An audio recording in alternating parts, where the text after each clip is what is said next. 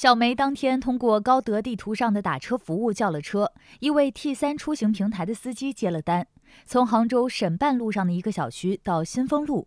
小梅说自己最近搬家，当天拿着行李箱过来搬东西，行李箱放在网约车的后备箱里。到目的地的时候，我一下车，大概过了三四秒的时间，我反应过来，我后备箱还有行李没拿，然后我就转头，但是那个车已经走了，呃，但是我订单是已经付掉了的，然后后面发现我联系不上司机，那个号是虚拟号，我就试图联系 T 三客服，然后进行联系司机转接嘛。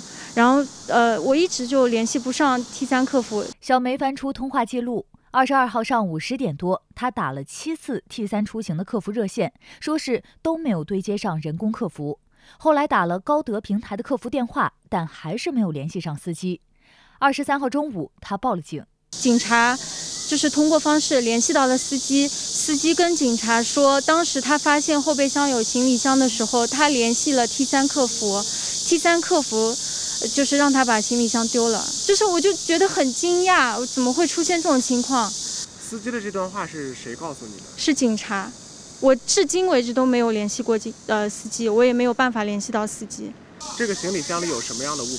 就是我是因为打包嘛，所以行李箱是空的，然后有几个打包袋，但是里面有一只手机，苹果，苹果八好像还是几，我忘了。小梅告诉记者。物品的价值虽然不高，但平台这样的处理方式她无法接受。她希望拿回行李箱或者得到补偿。现场再次拨打 T 三出行的客服电话，这一次接通了。嗯，这边是之前尝试过跟司机联系，但确实是没有联系到司机，非常抱歉。那司机有没有主动给我们平台打过电话？这边这个我是看不到的。后面我进行了报警，然后警察跟我说，司机联系了你们客服，客服让他把行李箱扔了，然后他就把行李箱扔了。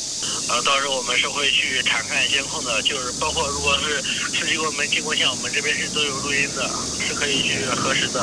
T 三出行方面后来回复，司机联系客服说发现乘客有箱子落在车上，客服询问是否是密封的，如果没有密封可以看下。司机打开后发现里面只有一个袋子，而且行李箱比较旧，问客服是否可以处理掉。客服做了不当回复，目前箱子仍在司机那里，正在协调司机把箱子还给乘客。记者想知道不当回复的具体内容，平台工作人员表示不具体回复了。对于客服存在处理不当的问题，向小梅表示歉意，已经将当事客服停职并进行后续处理，也会对所有客服进行培训。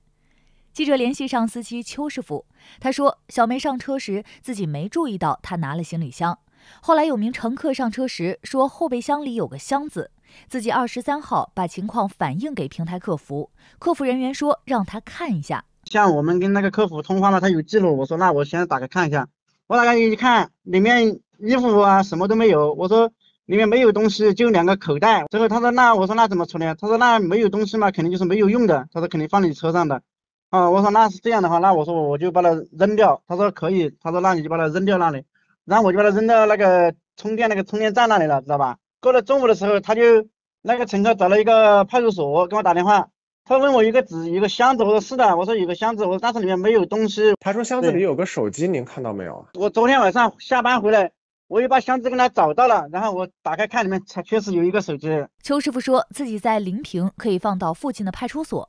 小梅表示，已经告知平台客服，希望让邱师傅把箱子放到 T 三出行的服务站，由服务站工作人员给他送过来。目前客服还在协商中。幺八幺八黄金眼记者报道。